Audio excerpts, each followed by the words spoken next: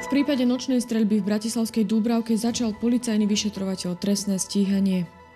Ak by bol budúcoročný štátny rozpočet vyrovnaný, ekonomika by sa prepadla takmer o 6,5% Došlo by k poklesu miest o 4% a nárasu nezamestnaných o 130 tisíc ľudí. Vyplýva to z makroekonomickej prognózy, ktorú zverejnilo ministerstvo financií. Národná diaľničná spoločnosť opätovne prehodnotí ponuky vo verejnom obstarávaní na vybudovanie elektronického mytného systému. Novým futbalovým trénerom Michaloviec je Peter Struhár. Hokejistov Slovana Bratislava bude trénovať Vladimír Rúžička.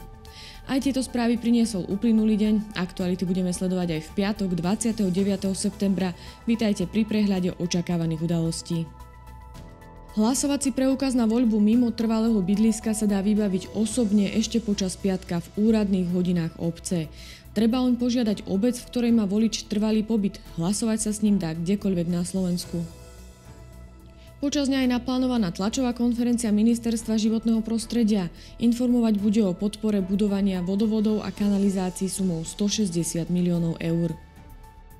Michalovciach budú ukladať pamätné dlážobné kocky, kamene zmiznutých.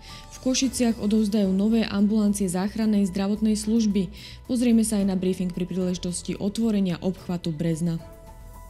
Ukrajina si pripomenie pamiatku obetí masakry v Rokline Babiniar v Kieve, kde nacisti 29. a 30. septembra 1941 zavraždili tisíce Židov. Na Červenom námestí v Moskve sa pod heslom Jedna krajina, jedna rodina, jedno Rusko uskutoční koncert pri príležitosti prvého výročia anexie štyroch ukrajinských regiónov Ruskom. Západní lídry označili anexiu okupovaných území za protizákonnú.